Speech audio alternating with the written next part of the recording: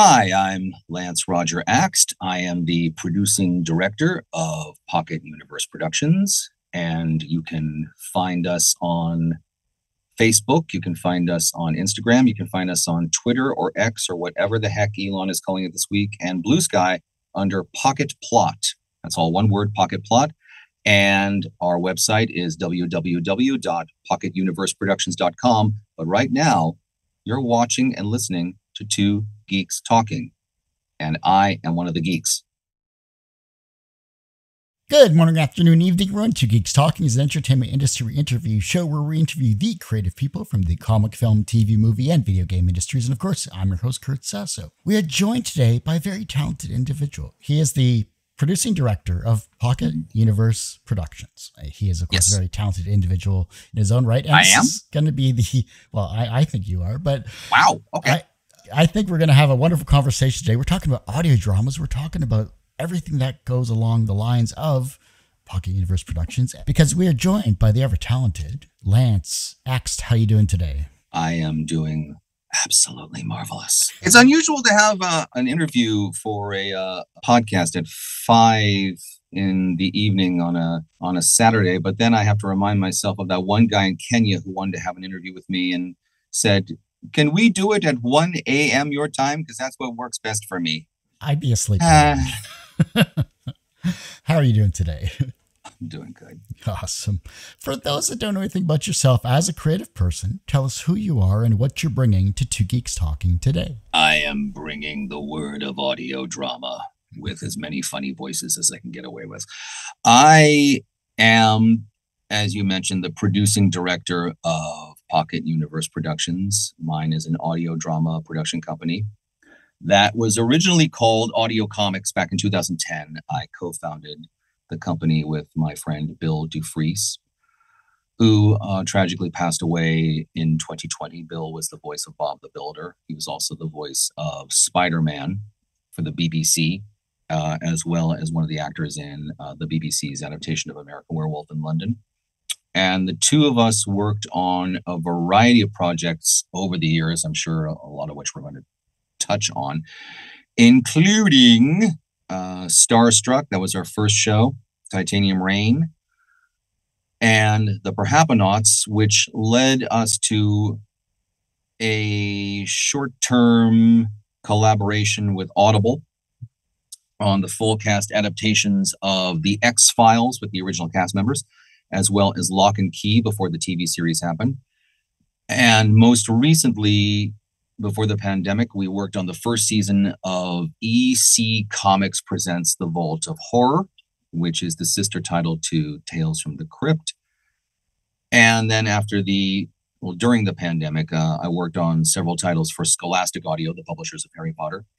And with my new partner in crime, Jack Bowman, we have a number of things in development. The first of which came to fruition last year, that being London After Midnight and London After Midnight, which I'm sure we're going to talk about quite a bit here, is our adaptation of the lost silent film starring Lon Chaney, which is considered one of the holy grails of the silent film world for reasons of which you can ask me about later on. And Jack and I are also working on two other uh, very exciting projects, which we uh, plan to record record one in 2024 fourth quarter for a release in 25. Uh, the other one, first quarter 2025 uh, for release that summer. Um, and that's what I got for you so far. But hopefully that's enough. So, so you're you're a little busy. It's safe to say. That's a bit busy. Yeah, it's a bit busy. I'm getting sleep though. I am getting sleep. That's something somebody once asked me. Do you ever sleep? I was just like, you're funny as my mother says, you know, sleep when you're dead. You got to enjoy life while you can. What's the misconception about the audio drama genres that you deal with that people who don't oh, follow it misunderstand? God, we're going to be here for a couple of hours. Okay. Um, let's start with the simplest misconception, and that is I guess the best way to put it would be an old phrase that best describes this period of, of radio, which is look, there's the detective and he has a smoking gun in his right hand. It's the old tropes that are connected to the golden age of radio. And that's something I've been trying to clear away for years. And at the point where I started to clear away, as I'm, as I'm wiping my brow here, as the dust was clearing in regard to that misconception, that's when you started seeing all of these podcast audio dramas appear uh, here, there, and everywhere. All of them, or most of them, science fiction based or horror based. And I'm not saying that's a bad thing. I mean, that's you know what I'm working on right now. But the biggest problem that we've been having is finding ways to monetize it, hmm. finding ways to get people away from the mindset that it has to be free, that the talent has to be free. When it was announced many years ago that Bill and I, along with um, several collaborators, Fred Greenhalgh, Dirk Maggs, that we were all working on the X Files, there was a lot of positive reinforcement from people. Oh my God, you're doing the X Files. This is going to be so great for the medium. And then we had some blowback as well that, oh, great, you're making this harder and harder for us hobbyists. So, and not in the best possible terms. So, trying to find ways around the hobbyist mentality, at least for me, has been a real struggle. It continues to be a struggle. You know, it's, it's funny. My partner in crime, Jack Bowman, once said that if uh, Steve Jobs was still alive, because Steve Jobs managed to figure out a lot of what was wrong with podcasting and fix it for Apple. If he was still alive, he would have figured out what's wrong with with fiction podcasting and figured that out as well. We're still in a bit of a quandary. You know, it's hard to find advertisers who want to jump on board because it costs so much to do compared to say a single simple um, single narrator uh, true crime piece or everybody wants the true crime pieces now or your business to business you know who's your guest this week two person podcast where there's going to be an episode every single week. So you know finding ways to make this into at least in the united states an ongoing day job that's been my biggest yeah my biggest hurdle, and that's continues to be a hurdle ten years on. I, am with you 100 percent when it comes to saying, hey, the, you know, we're providing a service more than just say in my case an interview show or your case an audio drama. It's mm-hmm. along the lines of, well, you should be paying the guests to come on the show, and, and to a certain extent, I can understand that mindset, but it's not a viable business option to stay in business because 15 yeah. years of doing this, I have to start providing services in order to, you know, help the masses because it's what I like doing as well. Saying that this is a viable business, this is a viable option to make money and still enjoy the craft of what you're doing with audio dramas is definitely something that's needed. Yeah, because what we're also doing is not just providing a service, but we're trying to provide a service at the best possible level. You know, there's a lot of, I, I don't mean to kick the can, so to speak, or, or kick people not when they're down, but just kick people's work. But there's a lot of there's some good work out there and there's some bad work out there. And unfortunately, a lot of people hear the bad work and think that this is what audio drama is when it really has to be. I am saying that it needs to be up to this level and it has to be up to this level, not it should be this level. You know, you have to set a very high bar, and a lot of people are just somewhat worried about doing that for some reason that if they do so they're going to be kicked out of whatever clique that they found themselves in with other hobbyists. That just seems to be what i've seen. I could be completely off base. I don't think i am but that's what i've seen for the most part. You know these are the problems i've been trying to struggle through. Yeah. Let's talk about obviously some of your amazing projects that you're currently working on here. So, Pocket Universe Productions leans towards independent endeavors like London After Midnight and, of course, Shaman's Tears. You know, how do these different approaches shape your creative process? That's a good question. Well, it really, I think, depends on the material that I'm going to be jumping into. Let's talk about London After Midnight for a second. What is London After Midnight? London After Midnight is the holy grail of silent films. It is a lost silent film and has been since 1965 that starred Lon Chaney as the man in the beaver hat, which is a character that's become somewhat iconic in the world of horror uh, to this day. Um, the film that he did in 1927, which grossed, I think, something like a million dollars. I, I could be wrong on that, but it grossed a hell of a lot of money for 1927. Uh, the last known copy of it was destroyed in the MGM fire, Vault Fire in 1965. So no one has seen this piece for years. But as of last year, the work went into the public domain and the script was still available. So it was hard to find, but there's copies floating around in the ether, also known as the internet.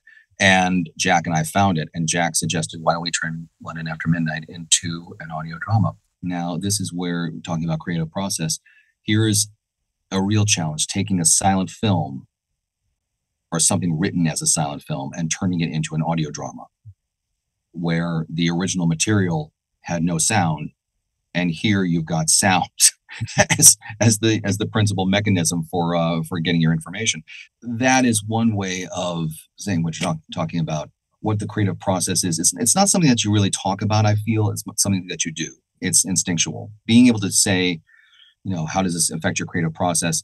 Truly truth be told i don't know but a long time ago i decided not to really dwell on it as much as just go with the flow. Here we had a situation with the script available but no surviving footage a little bit of surviving footage of stills but no actual surviving footage of the of the film. How do you go about creating this? Well you go about creating through mood.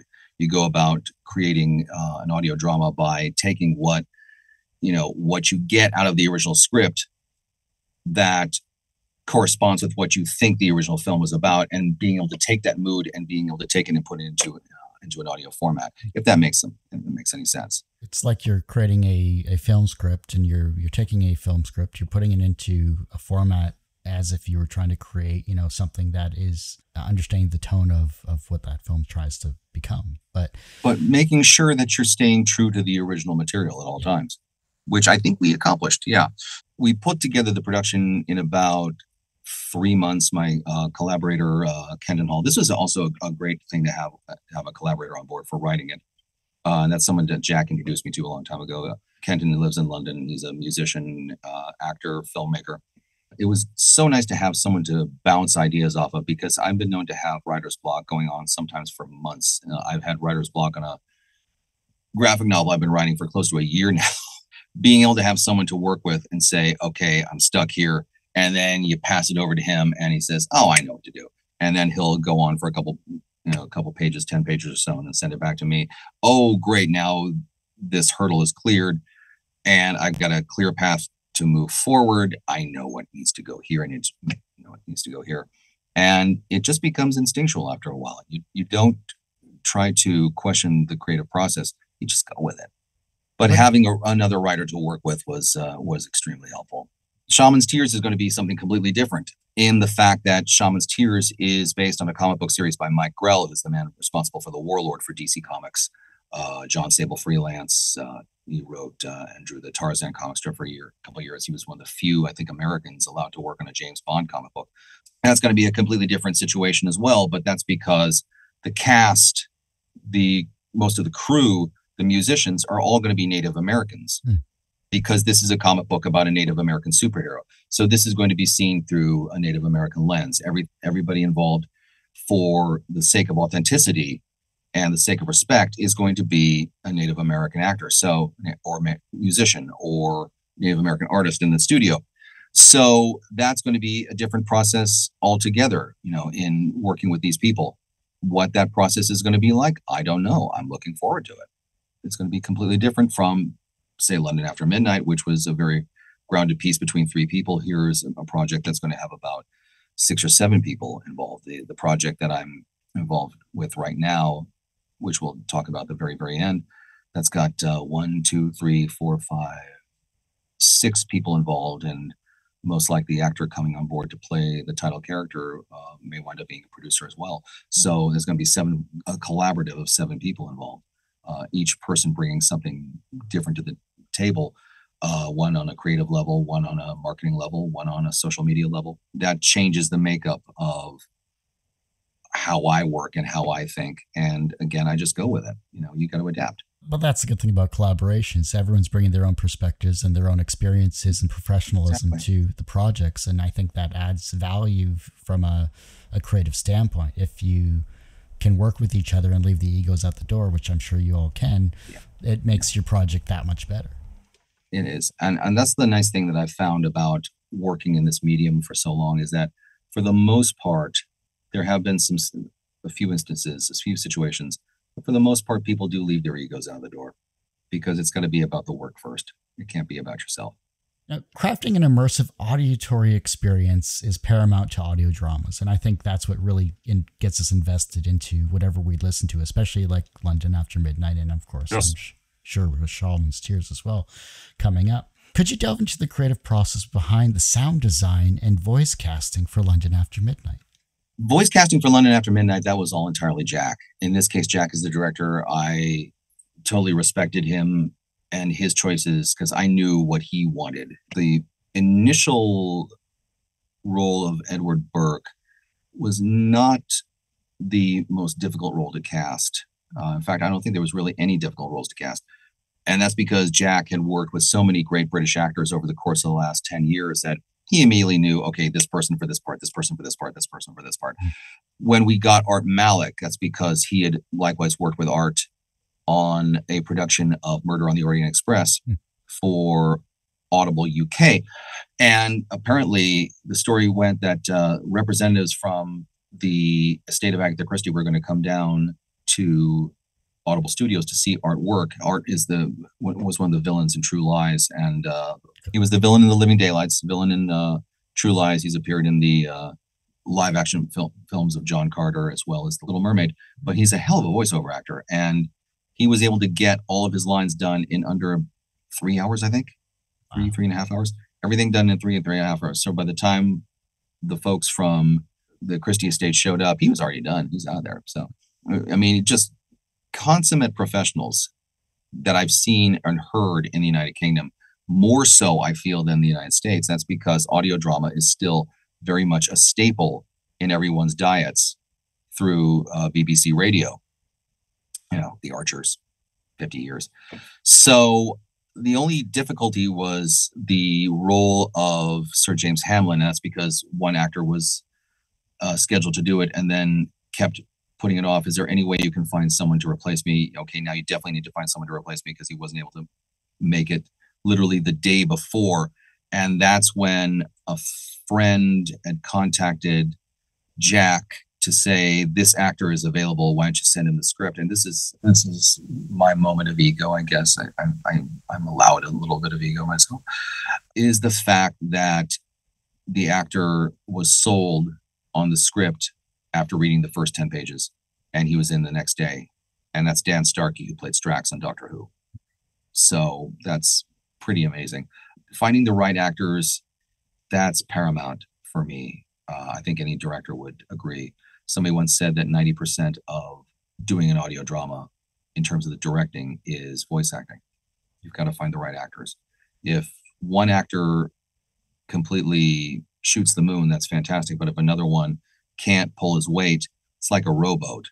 That person has just put, you know, just drilled a hole in the bottom of the boat and now it's starting to sink. So finding the right actors are is immeasurable, and I, that's one of the things that Bill had a real problem with with a lot of actors that he was dealing with is that most actors for voiceover are trained to do commercials they're trained to do video games they're trained to do what's known as short form narration whereas bill wanted actors who could do long form narration who had more theater experience that they and they had experience in front of a microphone, but didn't feel as though the microphone was going to eat them alive. That they felt that they could work in front of a microphone and not feel self-conscious about themselves. So finding those actors is extremely important in terms of the uh, uh, the overall production. Then, of course, finding the right person who's going to mix and master it. There's a lot of people who can do it. There's a lot of people who can't do it. You know, we've we've heard from this person, that person, and the other person down the road. Can you consider me? And then you hear their work, and their work just is not up to snuff. You know, again, it comes back to setting a very high bar. Who can you know go past that bar? We found that the some of the best people that we've worked with, interestingly enough, have been involved with video games because they're already in immersive environments. And that's what we're trying to create with uh, audio dramas is is an immersive environment for the ears. You're getting at least one half of the equation the ears over the ears and the eyes. But if they know how to do the ears it makes it a lot, lot easier. I think that's why so many people have gravitated towards our productions is the fact that we do have quality work You know, we had a um, very high praise from Publishers Weekly a long time ago. These guys are setting the bar in terms of full cast audio dramatizations. And there's a variety of reasons for that. It's because we have the right people on board to do the mixing and mastering. We have the right actors on board. We also, not so much anymore, Bill really had this down to a science.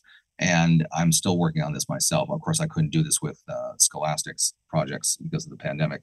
Couldn't have everybody in the studio. But one of the things that Bill used to do, which his mentor Dirk Maggs used to do, I think still does, is bring everybody together. It's called the gang method, as a former director for animation once called it.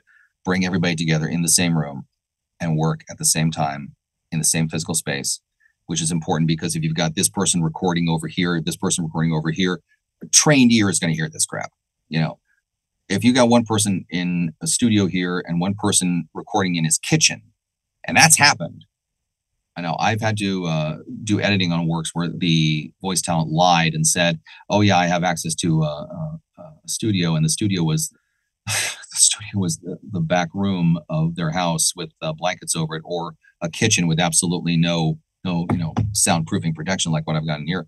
You're going to hear it. You're going to hear this person recorded here and this person recorded here, and it takes everything out of it. You know, so having people in the same physical space or at least in the same size studios, if they've got a home studio where there's enough manipulation so it sounds like they're in the same space, it helps immeasurably. But that's one thing that Bill used to do uh, in terms of our productions. I saw this firsthand when we were working on EC Comics Presents The Vault of Horror because he had built a studio out of his garage. He had built it in the style of BBC studios, which is a big open space with one or two microphones, and everybody crowds around the microphones. It's usually a binaural mic, so we can get everybody in a uh, 360 degree space, and everybody plays off of each other. You know, and you hear about this a lot in Hollywood with certain films that are put out by, say, DC Entertainment. I remember distinctly an actor who was working, I think, on Batman Year One. Maybe it was Batman Year One. It was definitely a Batman project, and Bryan Cranston was playing Commissioner Gordon and the actor was bemoaning the fact that he couldn't be in the same room with Bryan Cranston to do his lines with him. But that's because the agent had scheduled this time and he had to do it this time and Bryan Cranston had to do this time. We try to avoid that as much as humanly possible. You know, if it's a situation where everybody can be in the same physical space, then that's the way we're going to do it. It just makes for a more fun experience. And that's one reason why I'm very loath to work with an actor in Kansas or an actor in Seattle, an actor in Boston whereas everybody in the same space is just going to make for a better better experience and the better experience is going to translate into what you hear. That was definitely the case in uh, london after midnight. That's definitely going to be the case as much as we can do it with shaman's tears because I can't say the names of the actors who are involved yet. I can say that some of them are Hollywood celebs on television series. If we can get everybody in the same space at the same time, that's fantastic. I, I think it's going to be a real challenge. But at the very least, if we can get everybody in the same, you know, the same booth in the same studio, you know, that's going to be at least one half of the equation taken care of. That's awesome. I'm rambling. No, no, no. It, this is Remnant, Remnant, Remnant, Remnant, man. kind of reminds me of when you see the behind the scenes when you saw like Robin Williams in Aladdin playing with um, the lead of, of that series, and you know you, you see trained actors or talented actors and just joy that they get from playing off of each other. And you see that excitement. I think you, you can hear that as well. And i think that's what really draws us that aren't in the industry into these incredible productions like your own. Yeah uh, the person I was talking about earlier who does the gang method, he's not directing these days uh, for uh, animation, but his name was Mark Evanier. And Mark Evanier was the director of the Garfield show. And he insisted on having everybody in the same studio at the same time because he had the best rates in Hollywood. So he was able to get Stan Freberg and he was able to get uh, June Foray and he was able to get Frank Welker and all these great people to come in the same studio and have, have fun with each other. And he said, There's a great actor I know, um, lives in the Midwest. Wonderful actor. I'll never hire him London After Midnight delves into themes beyond the typical detective narrative. Could you elaborate on the underlying motifs explored within the series? Yeah, gothic ghost stories. Nice. I'll tell you something that the Brits know how to do better than anybody. It's a good ghost story. You hear the word ghost story, that gets people agitated, but in a good way. You know, I remember going to see when I lived in Monterey, there was a, a professional theater company in town, Union Equity House, and they were doing The Woman in Black. There is a stage version of The Woman in Black for three actors. And it scared the hell out of everybody. The last, I won't tell you what happens in the last two minutes, but that last two minutes just, oh my God. But the thing about it is, it is a ghost story. And it's a ghost story where after the show is over, it does what a good ghost story is supposed to do, which is you're looking over your shoulder. You're carrying that experience with you as much as possible.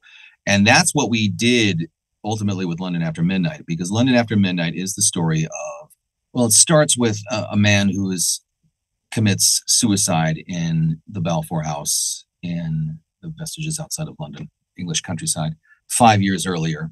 And then some very strange people wind up renting the house. One of them signs the deed as Roger Hamilton, which was the birth name of Roger Balfour before Roger Balfour eventually committed suicide. So that's where the character of the man in the beaver hat comes from. So are we dealing with the undead? Are we dealing with vampires? But there's a twist at the end as well that I came up with that everybody liked.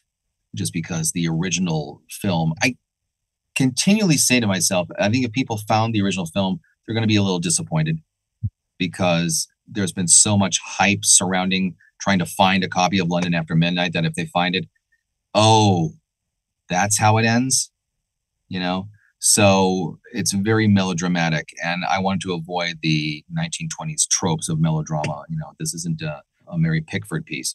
I came up with something that would be befitting the end of a good ghost story. And some of the reviews that we've gotten have, have stated that it worked, you know, it stayed with them. You know, that's what a good ghost story is supposed to do. So it's it's detective story, sure, but it's also and it's not horror. I want to make that clear. At least it's not horror for me. It's a ghost story. And in that vein, I would call it a thriller. And that's what we've what we've crafted here. But the telling of a good story, you've still succeeded with London, London After Midnight. So I, I can't wait to to actually get a chance to listen to it fully. First off, I haven't had a chance. You to. haven't listened to it yet. Not fully, not fully. It is literally what I'm going to be listening to and scaring myself shitless probably um, by the time I go to bed. So. Well, I don't want to say scaring yourself shitless, but but definitely that feeling of creepiness that comes along with with ghost stories. Like I, am thinking of the Nigel Kneale pieces, like the Stone Tape, mm. um, as well. I, I, can't remember what else but the Stone Tape immediately comes to mind. But also there was a, a, a television adaptation of Woman in Black, and you know it's it's funny how in Britain these stories really resonate with people to the point where those particular pieces, Stone Tape and Woman After Black, were presented as Christmas Day releases. I mean, Christmas Day, you're you're watching a ghost story, but yeah, it's, very true. I, I distinctly remember just thinking about this. There was a, if you can find it on YouTube, I know there are episodes available. It's called Shadows, and it was mm-hmm. actually a series of ghost stories written in the 70s for kids. I mean, the BBC and ITV were really pushing the boundaries of children's entertainment in the in the 1970s. But there was a show called Shadows, and what I really appreciated about Shadows is these were ghost stories meant for kids, but there is no theme music. There is no ending theme music. You have the story, the story ends. You might just hear the the wind whistling outside, and then in come the credits. No music. And I appreciated that to an extent because the music would have taken me completely out of it. Whereas no music, you just are left with the creepiness and the eeriness of the experience, and you take that with you. And that's what we've tried to do with London After Midnight. Nice. Know, take that experience with you. it also keeps yourself in your mind. You're also thinking about the episode continuously and the ending, or maybe a scene or something earlier on that got your mind to stir. Right. Can you walk us through the collaboration between Pocket Universe Productions and Audio Marvels for Shaman's Tears? You know, how did the fusion of your of your respective strengths enhance the upcoming project, or will enhance the upcoming project? Well, it comes from the fact that we both are fans of the material. that was a very big part of it. I I introduced Jack to this material when I thought about doing this. This this came about because years ago, uh, Bill and I had talked with Mike Gold, and Mike Gold was the former head of First Comics back in the 1980s. And Mike really wanted to get some of the people that he had known back in the 1980s uh, indie comics boom to have uh, have audio dramas made of their work as, as a way to push their their material back into the uh, back into the ether, so to speak, or back in back into you know public view. Uh, and that included we we talked to John Ostrander about GrimJack. We talked to uh, um, who else we talked to? We talked to Tim Truman about Scout, uh, and the name Mike Grell had come up a couple of times. And initially, we talked about the idea of doing Jon Sable, but finding out later that uh, Jon Sable is not available because um, Mike doesn't have an agent who's, who's pushing it for television right now. But the other title that came up was called Shaman's Tears, and Shaman's Tears also reminded me of a wonderful experience I had back in 2006 at what was called the National Audio Theater Festivals in West Plains, Missouri, or as I call it, the middle of the middle of nowhere. Uh, it's four hours away from Memphis. It's four hours away from anywhere. I think its biggest thing going for it is that it was the home of Porter Wagoner, uh, but it was also the home of the Comics Price Guide. Strangely enough, Gemstone Publishing. Hmm. Uh, Russ Cochran lived there, so it was the home home of of the uh, the Bible for the comics industry in the middle of nowhere, quite honestly, in the hottest place on the face of the freaking earth. In 2006, we had an influx of Native American writers and actors and musicians coming to do audio plays with us. And it was one of the most fun experiences I've had at any conference, any festival. It, it's it was up there for me with San Diego Comic Con, to be perfectly honest, and just in terms of my endorphin levels. And I wanted to find something fun to do with one of the companies, Native Voices at the Autry, which is uh, one of the premier theater companies des- devoted to Native American work in Burbank, California. And I've known Randy Reinholz for a number of years. I'm an acquaintance of his wife as well, Jean Bruce Scott, who was on a TV show called Airwolf back in the day, as well as the original Magnum PI. The two geniuses, and I, I don't say that lightly. I say that very, very strongly. Geniuses behind Native Voices, and I wanted to find something really fun that we could all work on together.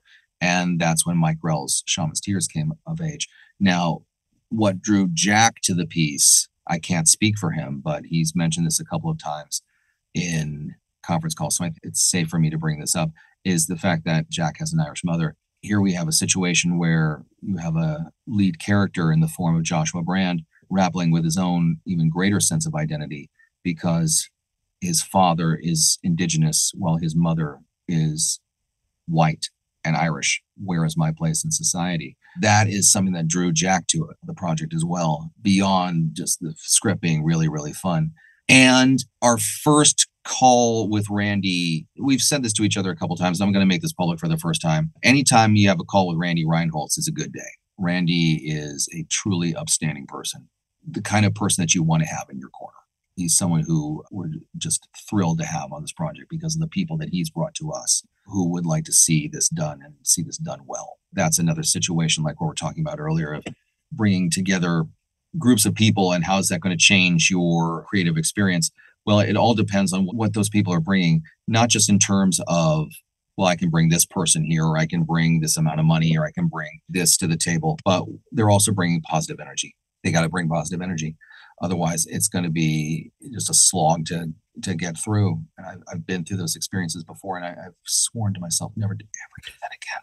And certainly not something that I want to do here with Shaman's Tears. My goal is to do a production that is worthy of everyone's time and something that also that Mike Grell, who has had some not so great experiences uh, in the past, the Sable TV series comes to mind, give Mike a really, really great experience that he can take with him wherever he goes next in his creative journeys and say these guys did it right. And that's something that we wanted, Bill and I, and now Jack and I want to bring to everybody who comes to work with us. That was the case with Elaine Lee on Starstruck. That was the case with the creators of Titanium Rain. when we worked on a project, when we still work on a project, and it's a situation where we're going to be in the studio, we invite the playwright, uh, comic book writer, playwright, or however you want to categorize that particular person.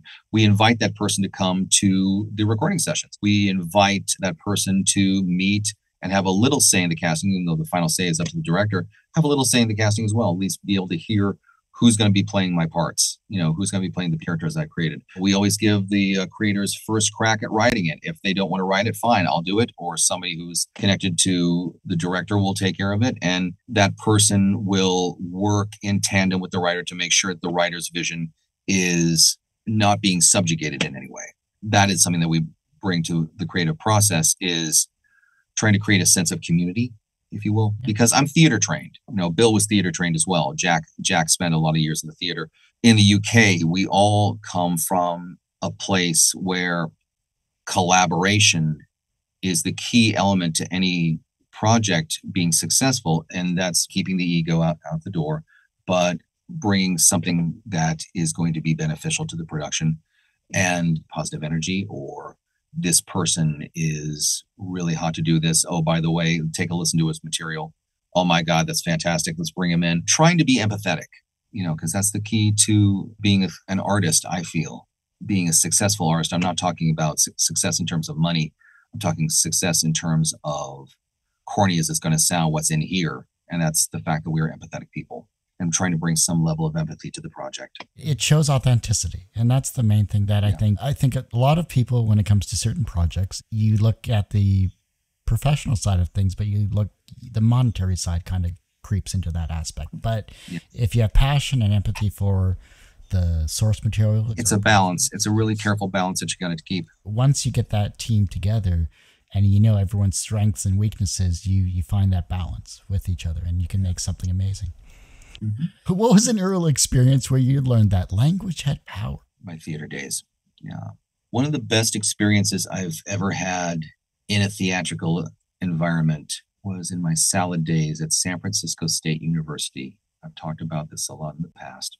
And it was the first time that I have been in a theatrical experience or part of a theatrical experience, part of a collaboration, part of a community where I really got to express myself creatively. And that was on an adaptation of Moby Dick. Um, we called it a response to Moby Dick in ways that I will not go into here because it was so personal to process for all of us. It's it's again not something that you can talk about, it's something that you do. But what I will say is that was really my first and best exposure to classical language and what language can do to you. I do say do to you, not for you, but do to you internally, emotionally, artistically. And I think working on something like that gave me a greater appreciation of Shakespeare later on. I have nothing but disdain for my high school years. I have nothing but disdain for my high school history teachers. I have nothing but disdain for my high school math teachers. And most importantly, I have nothing but disdain for my high school English teachers. I have mostly disdain for high school for a variety of reasons. But the main reason I have disdain for the latter is because they are the ones who wrecked Shakespeare for me in my junior year and somewhat in my sophomore year as well. And Shakespeare is something to be not just appreciated, not just admired, but it is a theatrical experience when done well that takes you outside of your body. That's the way I've always felt about the man. When you pare it down, pare down his works, Hamlet, Macbeth, I won't say the full name because I don't want to jinx anything, or King Lear, or the works that are turned into slideshows or film strips from the 1950s, and you have to take a test on them you've completely destroyed the joy of language for generations to come. It just took me so many years to get away from what was done in those years to being able to appreciate the man and to be able to appreciate the work. And that's why, you know, my favorite place to go in the world is still the Oregon Shakespeare Festival. It's not Paris, it's not Australia. Although I haven't been to Paris and Australia, I'd like to go someday. But it's the Oregon Shakespeare Festival because that's where language lives. That's that's my feeling about it. We have um I'm Canadian, so we have Stratford, Ontario, and those many Yeah. amazing plays and How close are you to Stratford? three, four hours maybe. I'm in Okay, the so, I'm in Windsor, Ontario, so I'm like south. I'm 25 minutes away from the uh, Canadian border, but there's Bard on the Beach, which I have not seen yet in uh, in Vancouver. I'm, I'm very interested, I'm very intrigued how that's going to go over. But they take it as seriously as as Oh, the. OSF does. I mean, but it's- there's there's quite a few Shakespeare festivals that I still have yet to see. Utah, Idaho. Um, there's it's one of the Berkshires. I mean, there's there's more Shakespeare festivals in Oregon and uh, and New York. Really great Shakespeare festival. A really great Shakespeare play. Mhm. That's that's something that gets me excited. right. I mean, I have great respect. I wish I had seen this production years ago. There was a production done at the OSF of Titus Andronicus, which is almost impossible to stage, but it's the bloodiest play in Shakespeare's entire canon. I think second only to Macbeth, um, or the Scottish play, if you want to call it, um, be more technical. Uh, and they set it in the Vietnam War. How perfect! Mhm. How freaking perfect is that? That would have been something to see. Jeez. I got to get to more plays. I, feel I know. like- Me too. Me too. Um, I'm going to ask my introspective questions here, and then if, do you have any upcoming projects that you're excited about starting or working on that we can know about? Yes. Okay. The official announcement was made on Wednesday and it's making its way throughout the circles connected to this particular writer. But in fourth quarter of this year, uh, I will be producing and acting in an adaptation of. I can't believe I'm saying this. I, I honestly can't believe I'm saying this because this is a process that's gone back, or a project a project that's gone back. Project process, a little bit of a little bit of column B, going back to 2019 when the idea was first broached. John Carter, Warlord of Mars, by Edgar Rice Burroughs, and our goal is, and you'll find out more about the creative team as the months go by because we're going to be also making a major announcement at San Diego Comic Con at Edgar Rice Burroughs panel. Our goal is to make the definitive John Carter audio drama that other people down the road, if they want to make a John Carter audio drama as well, they're going to have to beat us. They're going to have to beat what we did because we've got the right people on board this this is a project where there's six or seven people involved. We have an art director on board. We have our social media manager. We have our uh, showrunner, who's also who's worked on uh, projects uh, for this guy named George Lucas. We have a great director on board. This is going to be an incredible experience. And fascinatingly enough, I have gotten when I, I released this information on LinkedIn as well as Facebook. I don't think I have gotten this many responses saying can I be in it? Will you record this at my studio? Just because of the weight that comes with the name John Carter and the name Edgar Rice Burroughs. So I'm very excited that we're going to be progressing on this uh, later this year. And if you want to know more about that, you would go to johncarterrises.com. Again, johncarterrises.com. Sign up for updates. Uh, we'll be releasing information on a weekly or bi-weekly basis, probably closer to weekly. We have a lot of exciting news to share, little bits here, little bits there, leading up to San Diego and the big reveal of who will play John Carter in our production. So Awesome. That's amazing. I love that. sign up. Sign up. We're going to Mars. Mars or bust. Mars or bust. Or I should say Barsoom is, is probably the, the correct terminology here. So Barsoom or bust. That sounds better actually. There you go. go. That, that is that going to be on a T-shirt? Are we going to see that uh, Barsumer Oh. bust? love to see that on a t-shirt. We're talking about t-shirts as well. So There you go. um, All right. Last bring three. it up with the estate. Let's, let's see what happens. I, I gotta say this as well. The estate has been absolutely fantastic to work with. You know, we we really lucked out. We really lucked out. There- There's been it, I've been involved in projects on occasion where the estate has has been nothing short of roadblock after roadblock after roadblock. But no, these guys have been wonderful. We lucked out. What was the di- what was the difference from say this estate versus others? Is it just was it the right time for this project to come about? Was it just something that they just wanted to see done right? Like I think a little bit of everything. Uh, the, the timing was right. They loved the idea of an audio drama. They loved the idea of bringing this character that has been around for so many years to new audiences. The caliber of this team uh, certainly was was a big help in itself. Yeah, Yeah. I'm really I'm really excited. I think people are going to be very impressed with this. San Diego can't come soon enough then. Everyone has one person that inspired them on their path to where they are today. Who was that for you? Oh boy, that's a good question. Well, the name that immediately comes to mind is Bill Peters. Bill Peters was the director of, of Moby Dick, and he also did adaptations of uh, The Tempest he, uh, when he was at San Francisco, San Francisco State University, adaptations of The Possessed by Dostoevsky, uh, Memory of Fire by Galeano. And it's through him, because so much of what I bring to audio drama, I taken from my theater days and I managed to find ways to adapt it to work within the medium. But one of the things that I learned from him was to kick the complacency out of theater. You know, okay, so here we have we're we're moving away from audio drama to theater, obviously, but but there's a reason for that. Okay, so you have the audience is out here and the play is supposed to be up here. That's the way it's normally done. Well, why can't the play be in the audience and the audience be on stage? Why can't the play be over here, over here, over here, and over here, and you move the people around? It's the idea that theater does not have to conform to any one one medium, any one style.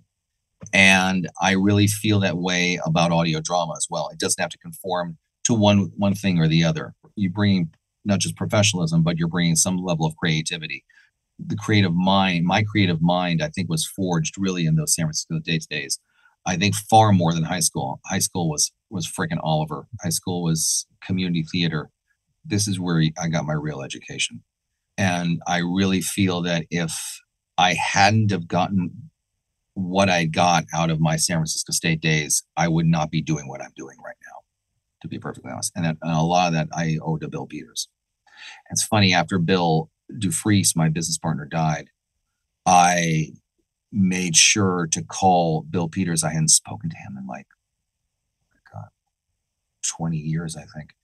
I made sure to call him to tell him that after, after hmm. all those years. So don't hold back or hold off on telling people how you feel about them. And it was a, it was a very big part of my uh, my artistic education. I don't want to say theatrical. I don't want to say audio, but my artistic education. I want to talk about my audio education. That's really Bill Dufris, because I just learned a lot in the studio from working with him, but also how to work with actors, how to not settle for okay, this is good enough. Let's leave it here. No, is there another level that we can take it to? Let's try to take it there. It's two different bills. Bill Peters for the overall experience of being an actor and being an artist. Bill Dufris for what he gave me to be an audio dramatist, the proper term I use. From a professional standpoint, you've created many amazing audio dramas and worked with many amazing people, as you've mentioned Yes! throughout this interview. So, from a professional standpoint, you are a successful person. Do you consider yourself personally successful? No. no. Because if you're personally successful, where is there left to go? You know, there's a there's a great line I got from my Trinity rep days. That's where I went for my Master of Fine Arts degree, and I think this is paramount for any artist to carry with them. And that's the words: "There is no it to get. I've done it. I've made it. It has finally happened. Well, if you've done it, you've made it. It has finally happened. Where the hell are you going to go? Now, something very humbling when I was watching years ago um, inside the actor studio and finding out that Steven Spielberg still watches before he, I don't know if he still does it now, but he mentioned at the time. There's four films that he always watches before he goes in to direct a film. One of which I can't remember the other three, but I know one of them was The Searchers by John Ford, uh, because he's always learning something, you know. So, am I successful?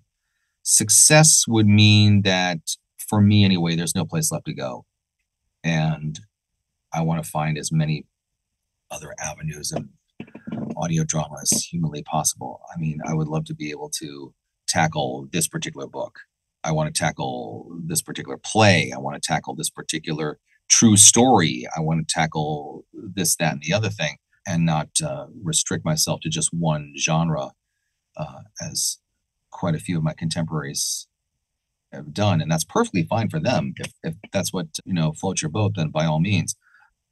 Success? No, not at all. I mean, success on a monetary side, success in the way of being able to say, this is my day job, that would be, that would be, I guess, a successful thing.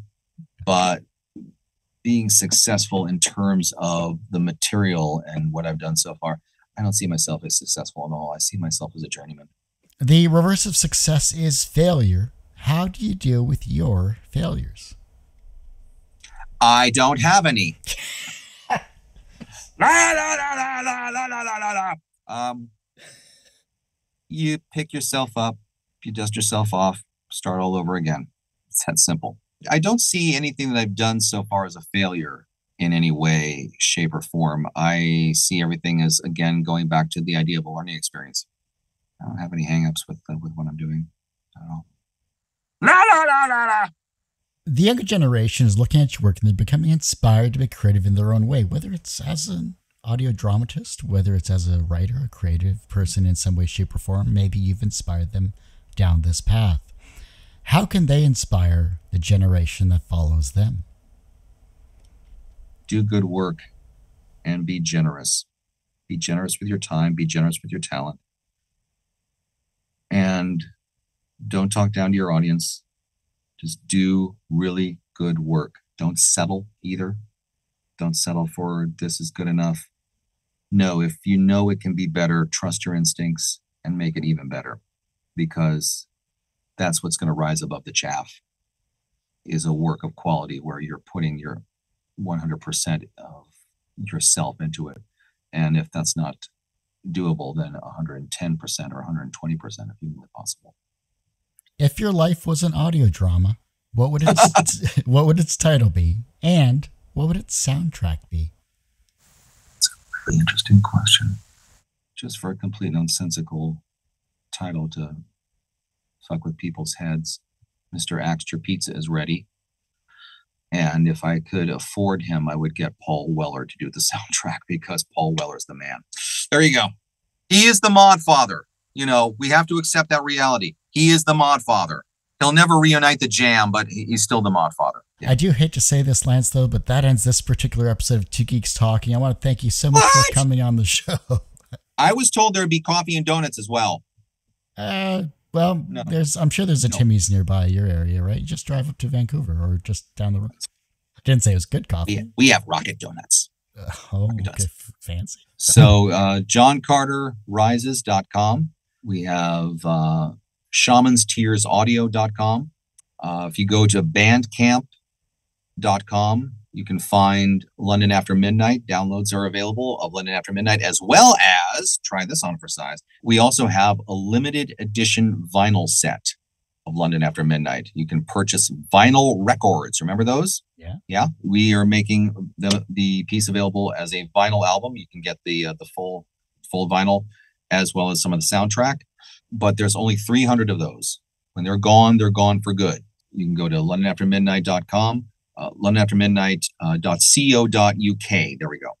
It'll direct you to the Bandcamp site where you can purchase a digital download. We have them available in binaural as well as Dolby Atmos. If you have Dolby Atmos headphones, mm-hmm. you need to hear this thing. It's going to be absolutely spellbinding. London After Midnight available as vinyl record albums. And we also put together a book. And the bookie book contains the production script, it contains production diaries, and a novella by my co writer, Kenton Hall, which is quite amazing that he was able to do it in such a short period of time. You can purchase the uh, the book there as well. We will be jumping into John Carter uh, fourth quarter of this year, first quarter hopefully on Shaman's Tears. Sign up for updates. That's the best way to uh, find out what's going on.